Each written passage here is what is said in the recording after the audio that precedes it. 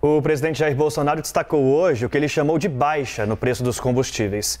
Durante discurso em Feira de Santana, na Bahia, ele cobrou os governadores que baixe o ICMS. Olha só.